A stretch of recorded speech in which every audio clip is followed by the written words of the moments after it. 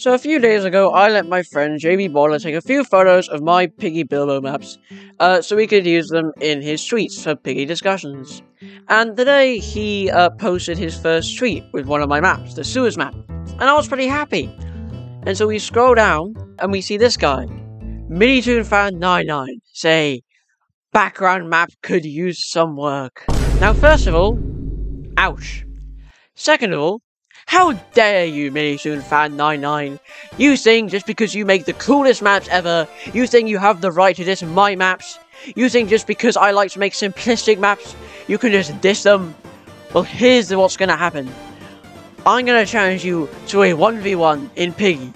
And if I win, you have to admit my sewers map is amazing. And if you win, I have to say it's bad. Do we have a deal?